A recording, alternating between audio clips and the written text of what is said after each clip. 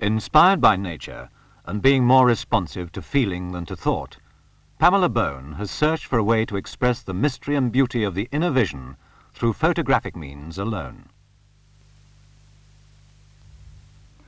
When you value an idea, it enables you to work with infinite care and patience to overcome the limitations that photography would impose.